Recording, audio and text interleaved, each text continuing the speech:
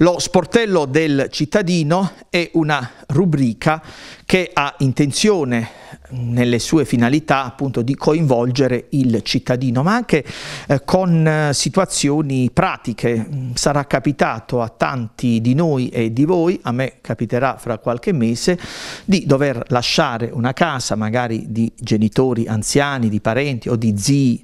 eh, passati tanti anni e quindi si decide di cambiare diciamo vita tra virgolette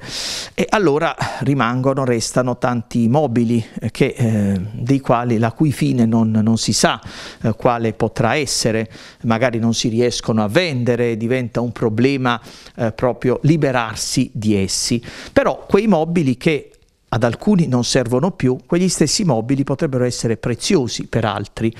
E ehm, c'è una iniziativa da parte di Chima Ambiente Amiu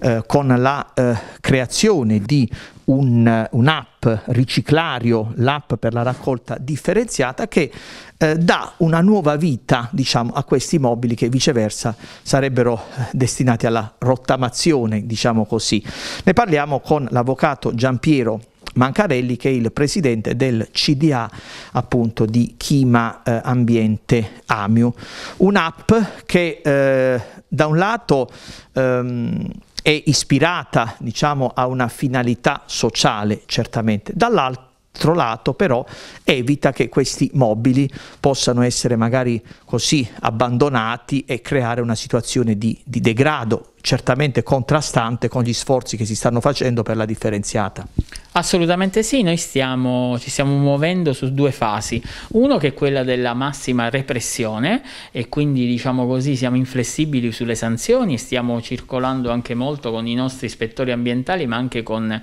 i vigili. E dall'altro quello della massima collaborazione e apertura da parte dell'azienda. E in questo diciamo che l'app riciclario ci aiuta quindi a far sì che ci sia la possibilità nelle prossime settimane di avere la cosiddetta bacheca del riciclo, cioè chi ha bisogno di disfarsi di un immobile, di un mobile, scusate, invece di eh, lasciarlo per strada oppure chiamare il numero verde, può inserire la foto all'interno dell'app e chiunque ne ha bisogno può richiederlo e quindi andarlo a prendere gratuitamente. Insieme a questo noi nelle prossime settimane attiveremo il cosiddetto concorso a punti, che vuol dire che quando si porteranno presso i CCR, le isole ecologiche, quindi presso i centri comunali di raccolta, gli eh, immobili gli ingombranti, penso per esempio il frigo piuttosto che il materasso, avranno dei punti e alla fine raggiungendo circa 35 punti si potrà avere un buono spesa di 10 euro. Quindi noi in questo modo cerchiamo di ridurre, diciamo così,